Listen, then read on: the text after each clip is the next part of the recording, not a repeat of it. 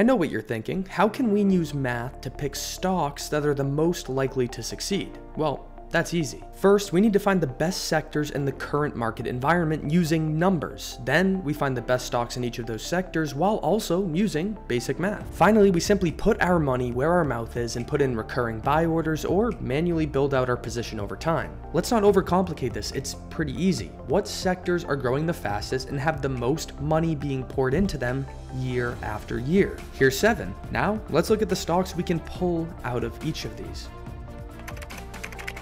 Come on, we all knew AI would be on the list, and I'm sure you also knew that Nvidia would be on this list. And to be honest, I don't even need to review this one. They aren't just B2B. I've made plenty of videos about Nvidia's game-changing tech and their overall financials. If you don't own the stock already, then my commentary certainly won't change your mind, so let's move on.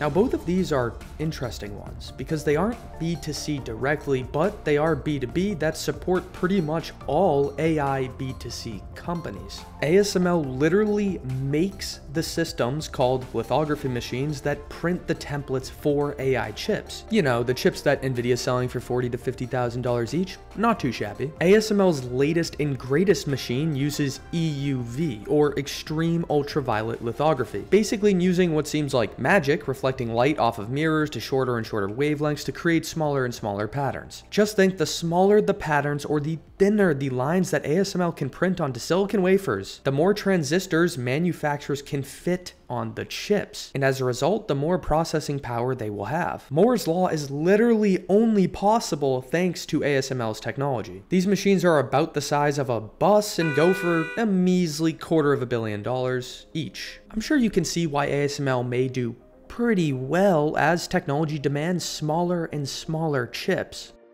Don't worry, I didn't forget about Taiwan Semiconductor. ASML builds the machines and TSM manufactures the chips using those machines. And if you were wondering just how dominant TSM is, you can look at their market share where they account for 56% of the global semiconductor foundry market and around 90% of the world's leading edge semiconductors that are used for artificial intelligence and quantum computing applications. They make virtually all of the little microchips that power your phone, your laptop, your tablet, pretty much all the things you own and use on a daily basis. We all know AI is gonna be huge, but don't take my word for it. McKinsey and Company, one of the largest consulting companies on the planet, states generative AI's impact on productivity could add trillions of dollars in value to the global economy. Trillions with their latest estimate being the equivalent of 2.6 to 4.4 trillion annually. And for perspective of just how ridiculous that is, the UK's entire economy was 3 trillion in 2022. So yeah, at this point I'm just beating the dead horse, just buy some damn exposure to artificial intelligence. The three companies we just talked about own the market, at least for now. Whether you believe in global warming or not doesn't really matter. Save that argument for politics or environmental science class. What does matter, however, is the facts, and data is showing that investment in renewable energy is growing fast. If you don't believe me, it's projected to grow at nearly 10% for the next decade and reach 2 trillion by 2031 on the most conservative projections I could find. Some reports have this growth rate in the upper teens all the way up to 20%, surpassing that of artificial intelligence. In any case, solar is projected to be the fastest growing form of renewable energy, and that's because adoption of solar tech is happening very fast. Solar share of the global cumulative power capacity, or the total energy that can be generated from solar tech, is soaring. And whether you believe it or not, is expected to surpass our good old friends of coal and natural gas by 2027. That's just four years away, folks.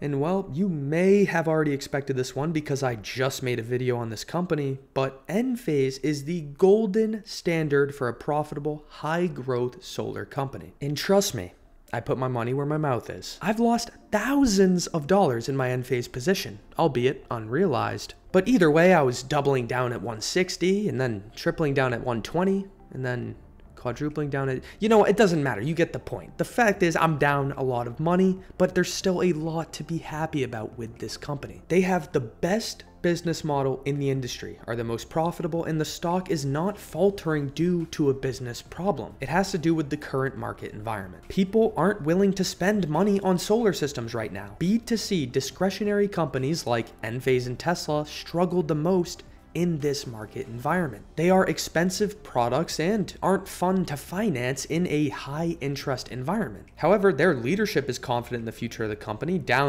far more money than I am right now. The sector is heavily supported by government tax breaks and subsidies. You know, I'm done ranting about Enphase. If you want some more information on PV tech, the solar industry, and Enphase as a whole, go check out my video. Other notable mentions include NextEra Energy, which also happens to be the world's largest generator of renewable energy from the wind and sun and a world leader in battery storage. And we certainly can't forget about Tesla, but don't worry, we'll get into that one in a little bit.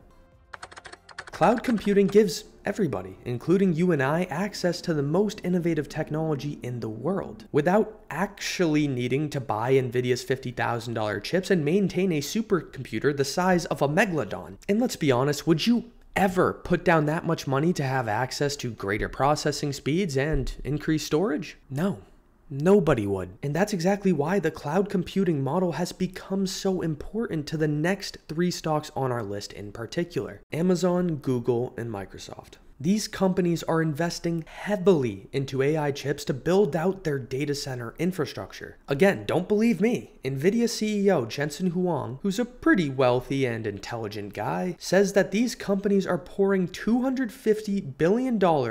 Yep, you heard that right billion per year into data center infrastructure. And this number is set to grow at an 11% clip each year until 2030. That's some serious money being invested into the sector, and therefore we should expect all the leaders, namely Amazon's AWS, Microsoft's Azure, and Google's Google Cloud, to reap the benefits. These data centers give us the ability to use cloud services like buying extra storage on your phone, collaborative software in Google Suite, and additional AI power to build out a software. Obviously, these companies are all no-brainers if you just look at their historical performance, but there is some additional incentive coming in the future. Not sure why you wouldn't own these already, but to each their own.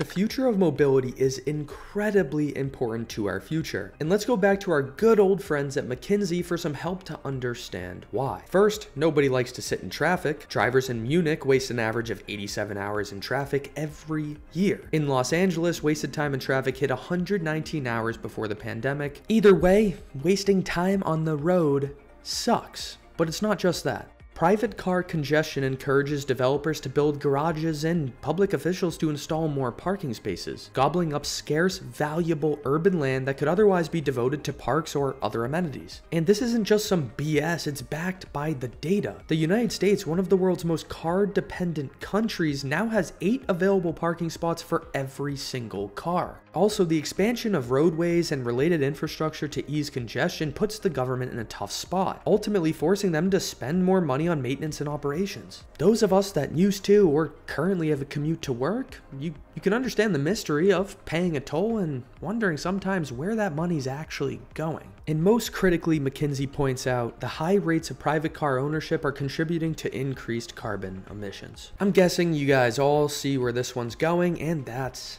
Tesla. At this point, I don't think there's any question as to how important Tesla will be to the future. KPMG states the future of mobility is being fueled by three key technology-driven disruptive trends. Electrification of vehicles, connected and autonomous vehicles, and mobility as a service. All of which happen to fall right into Tesla's wheelhouse, and frankly, there's nobody even close. The banter about Tesla being just a car company and whatever the hell else is out there has been completely squashed at this point. Elon Musk claims that Tesla is at least five years ahead of anybody else in the field when it comes to full self-driving. Tesla's Dojo, their proprietary supercomputer, specializes in AI for full self-driving and has only accelerated this gap. Love him or hate him for a variety of reasons, I think we can all agree he's a pretty smart guy and has some great visibility on the sector as a whole. Right now, it should come as no surprise that private ownership is the most popular mode of transportation. But that preference is changing. A 2022 McKinsey survey says 46% of respondents are open to replacing their private vehicles with other modes of transport in the coming decade, and 70% are willing to use a shared autonomous shuttle. It's clear that at least for urban residents, they may ultimately prefer to use a robo-taxi fleet or what we call mobility as a service anyways. Tesla has plans to address robo-taxi fleets, fully autonomous vehicles, communication between vehicles, all the things that are driving KPMG's three disruptive innovations for the future of mobility. Tesla does a lot of other cool AI stuff too, but that's enough on Elon. As technology continues to evolve, the communication between the tech needs to improve. That's the only way we can fully realize a system's full potential, and that's exactly what Internet of Things is helping us to do. Think two fully autonomous vehicles talking to each other on the road, practically guaranteeing the safety of their passengers. Or smart home appliances that are connected directly to your Google Assistant or Alexa. Shit, I'm gonna be late. Hey Alexa, could you make me a coffee? No.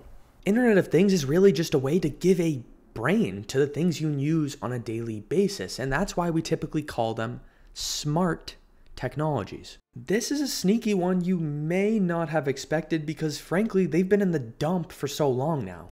Intel is an advanced chip manufacturer like TSM is, both supporting advanced connectivity or Internet of Things technology. However, Intel may have less risk moving forward and you could argue even a few advantages over the rest of their competition. First, as you may have already figured, Taiwan Semiconductor is located in Taiwan, and we've all heard that the tensions between China and Taiwan are growing. Speculate as you will, but if China were to invade Taiwan, that would spell disaster for the manufacturing world, which would also impact every other tech company using TSM to make their chips, namely Nvidia, you get the point. Well, if this is even a remote possibility, then why not use Intel as a hedge for investing in TSM?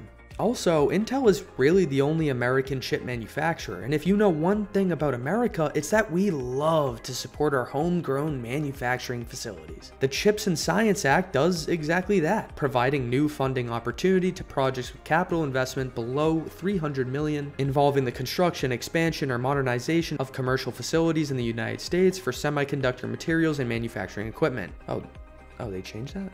Oh, my mistake. There's no upper limit now. Intel could receive anywhere from 2.5 to 7.5 billion for its Arizona and Ohio fab projects. How could I forget? Those EUV machines, the ones that ASML makes, the, the big ones like a boss that go for like $250 million, yeah, well, Intel is getting first dibs on those, so just something to keep in mind. Just make it easy on yourself and get some exposure to Bitcoin, Ethereum, or Doge on Mars. Two of them I'm serious about. Next. Last but certainly not least, we enter the realm of data privacy and protection, or cybersecurity. Data is the new currency across the digital economy. People will pay a lot of money just to get your information on their customer list. And unfortunately, when things start to become valuable, you have people that want to steal and take that information to benefit their own wealth. This stat may be slightly uneasing, but in the United States, about half a million accounts are hacked every day. And it's estimated about one in three Americans are hacked every year. I'm not here to teach you about why creating strong passwords is important, but it definitely seems like it could be a good idea. But don't worry, Fortinet and CrowdStrike Holdings are here to protect you. Keep in mind, these companies, like Enphase, are still in their early growth stages and have a lot of room to improve. The good news, Fortinet is already profitable, and CrowdStrike expects to be profitable early next year, both bragging gross profit margins of 70% plus. These companies provide additional layers of security for your personal devices, internet endeavors, and cloud usage. And this is a serious concern for companies like Amazon, Google, and Microsoft that rely heavily on their cloud business for future growth. With cloud exploitation jumping 95% just last year, the trend is clear. Better cloud security walls are needed. Let's use logic. If cloud usage is expected to grow quickly and cloud investment is growing quickly, then cloud security needs to grow even faster to keep up with the demand. And that's exactly what cybersecurity companies like Fortinet and CrowdStrike Holdings are here to do. Palo Alto Networks is another one to consider, but I'll let you do your fair share of research on that because it's kind of expensive. Who would have ever thought you could use basic math combined with simple logic to identify the most important sectors and therefore the most important technologies to the future of our world? If you're down as much money as I am in a lot of these positions, please let me know make me feel a little bit better. If you enjoyed the video, the research, and the information, please, please let me know and subscribe. Thanks. I'll see you in the next one. Bye.